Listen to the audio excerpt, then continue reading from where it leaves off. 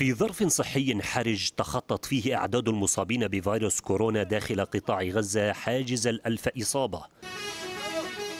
حطت قافلة المساعدات الطبية الإماراتية رحالها على أرض القطاع المحاصر محملة بأكثر من 14 طنا من المواد الطبية وأجهزة التنفس الصناعي لمساعدة العاملين في القطاع الصحي على مواجهة التفشي المتنامي لفيروس كورونا وسط ترحيب وامتنان فلسطيني. نحن نعتبرها مساعدات قيمة وذات قيمة عالية جدا. لذلك نحن نتقدم بالشكر للإخوة في دولة الإمارات على هذا الجهد الكبير الذي قدموه للوقوف إلى جانب قطاع غزة في هذه الظروف الصعبة والقاسية.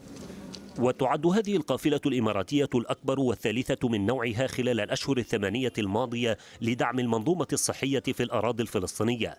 وهي تعد جزءا من الالتزام الإماراتي المستمر لدعم الشعب الفلسطيني لا سيما في قطاع غزة الذي يشهد عجزا كبيرا في الأدوية والمستلزمات الطبية اللازمة لمواجهة جائحة كورونا.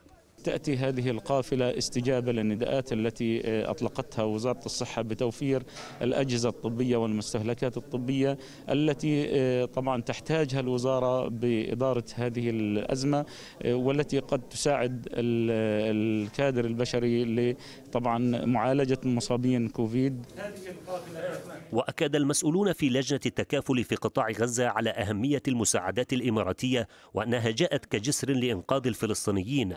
حيث ضمت هذه القافلة نحو 100 جهاز تنفس صناعي إضافة ل 200 ألف فحص مخبري لفيروس كورونا. كنا نتمنى من أي جهة أن تمول قطاع غزة وتنقذ قطاع غزة في هذا الوضع العصيب. صارعت دولة الإمارات العربية الشقيقة بإرسال هذه المعونات الطبية في هذا الوقت الحرج ونحن نقدم شكرا لدولة الإمارات العربية الشقيقة التي ترسل لنا أجهزة التنفس الصناعي. وبلغ مجمل المساعدات الطبية الإماراتية للفلسطينيين خلال جائحة كورونا أكثر من 36 طنا لتوفير الدعم والحماية للطواقم الطبية.